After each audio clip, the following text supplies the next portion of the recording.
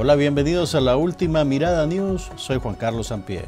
Próximamente se instaurará la mesa de diálogo que pretende resolver la crisis política que estremece a Nicaragua.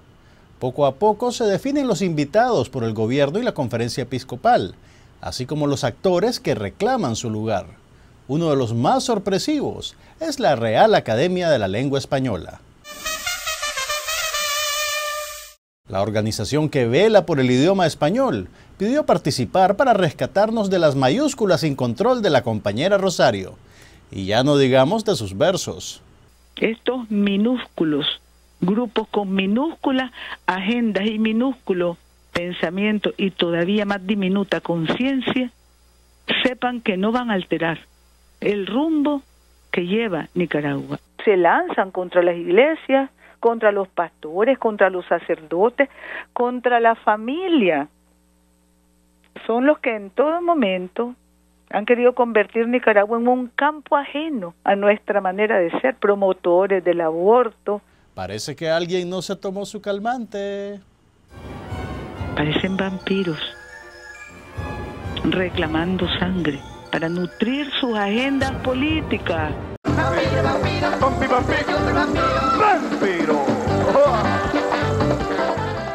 El comandante Ortega celebró el primero de mayo, estrenando su nueva estrategia para reconquistar a la juventud. Es una campaña protagonizada por Edén Pastora y Albaluz Ramos. Ortega decidió asignarle a Edén una tarea adecuada para sus años y su experiencia. Será el nuevo presidente de UNEN.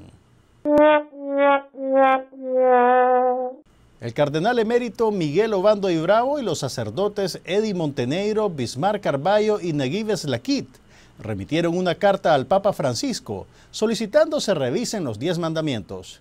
Ellos creen que es hora de retirar eso de no matarás. Es por un amigo en común que no quieren que salga afectado a la hora del juicio final.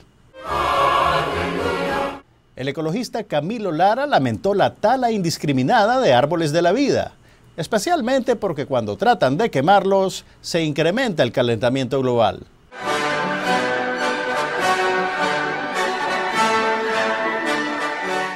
La compañera Rosario no se ha pronunciado sobre los nueve árboles que han sido derribados, porque igual los tiene repetidos.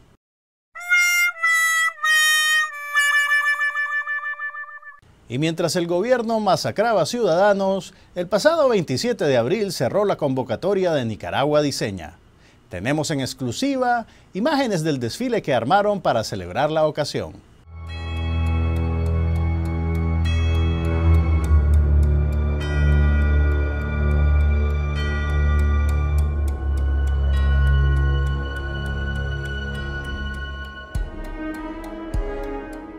Y la segunda pasarela estuvo más impactante.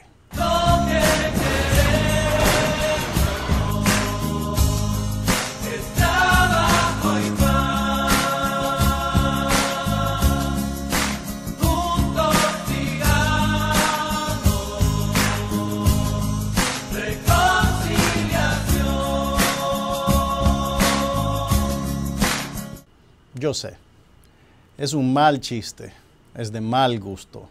Pero ¿saben qué es peor? Matar ciudadanos por el simple hecho de que ejercen su derecho a protestar. O porque simplemente pasan cerca del lugar donde se reprimía con violencia a sus conciudadanos. Al momento de grabar este segmento, Confidencial había verificado 43 muertos. Al momento que ustedes vean esto al aire, probablemente el número sea mayor. Esos muertos siempre nos van a faltar y no vamos a olvidar. Buenas noches.